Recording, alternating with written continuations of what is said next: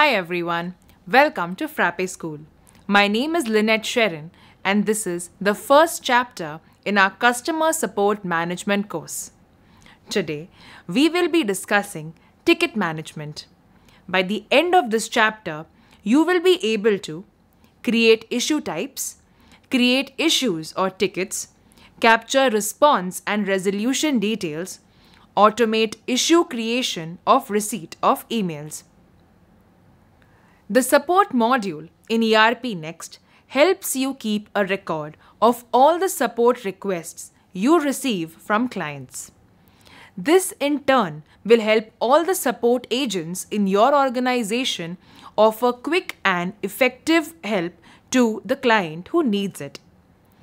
Customers can raise issues or tickets for various product or service related reasons.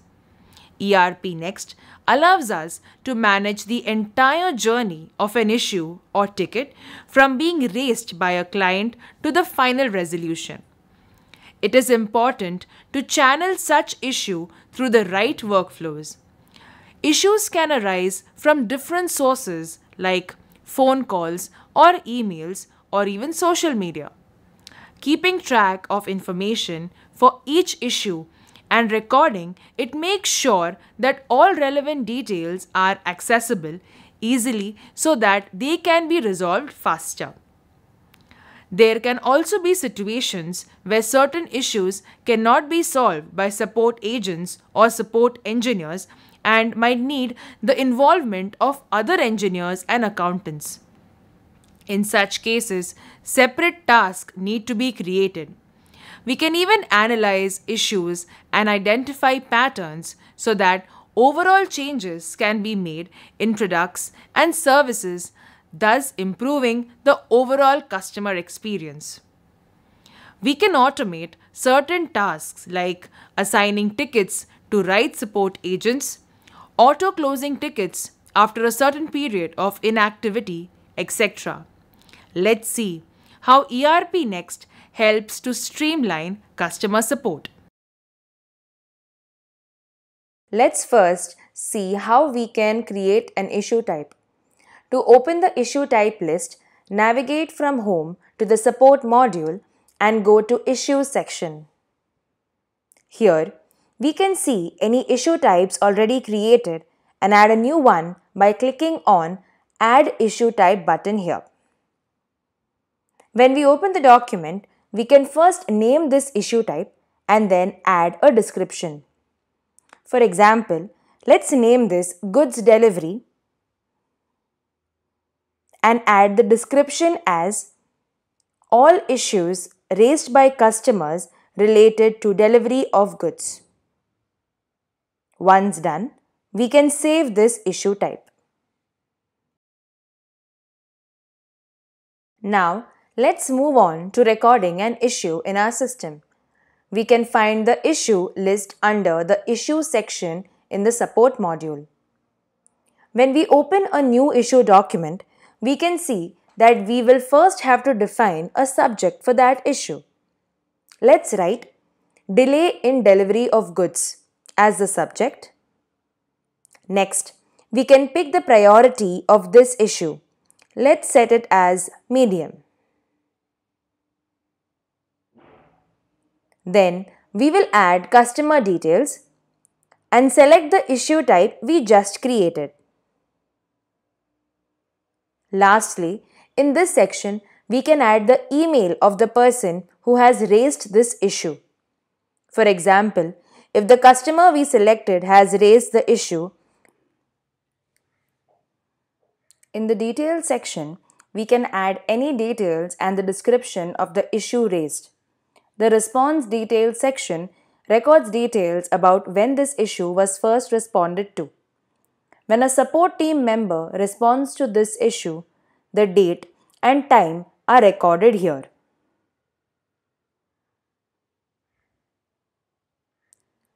The resolution details section shows the opening and closing dates and times for this issue. Since this issue's status is still open, it will only show the opening date and time. We can even add resolution details here. when we mark the issue as closed or resolved. In the reference section, we can tag a lead, project and add contact details for reference. We can even add an email account here. The Via Customer Portal checkbox indicates if the issue was created through the web portal. When we've added all these details, we can save the issue.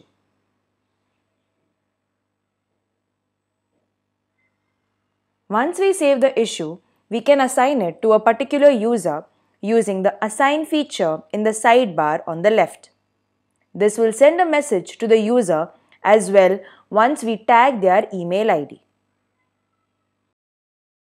This issue will pass through different stages and its status can keep changing.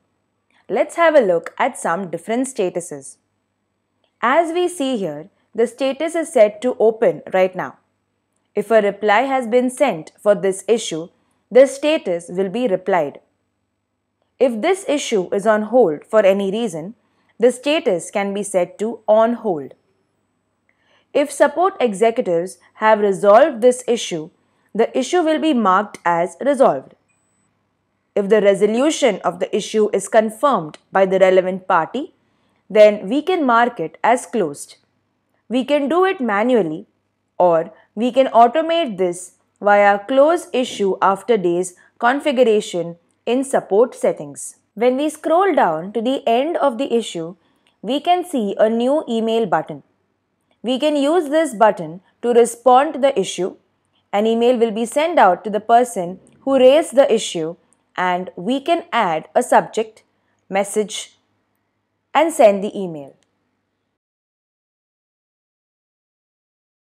If some action needs to be taken regarding this issue, we can even create a task linked to it. We can go to the Create button and open task from there. This will open a task doc type with the issue details added. We can add other details about the task that needs to be done.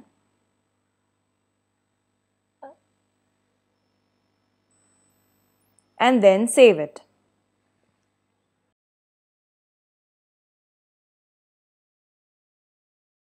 If we mark the issue as resolved in the status field and then save the changes, the closing date and time will show in the resolution details section. Similarly, if we change the status to close and save it, the time is recorded in the resolution details section.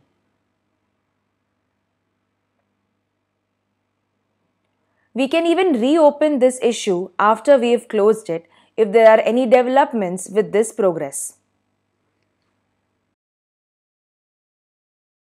We can even set up the system to automatically create an issue based on emails received using the append feature in email accounts. To do this, we will need to navigate from home to the settings and go to email account. Here, we can see a list of email accounts added. Suppose we want to enable incoming emails for the support email account, we can open it and scroll down to the incoming settings and select the enable incoming checkbox. In the document linking section, we can link the issue doc type in the append to field. Now, Whenever someone sends an email to the support email of the organization, an issue will be automatically created from it. We can also enable contact creation from incoming emails and automatic linking in documents using the checkboxes here. If we want to be notified if the email is not replied to, we can select the Notify if unreplied checkbox. Once we have configured the auto creation of issues from incoming emails details, we can save these changes to the email account. This brings us to the end of the first chapter in our Customer Support Management course. I hope this chapter helped you understand how to set up issue types, how to create an issue, and how to customize other features related to issues in the support module. You can read more about ERP Next on docs.erpnext.com. In the next chapter, we will explore service level agreements. Thank you.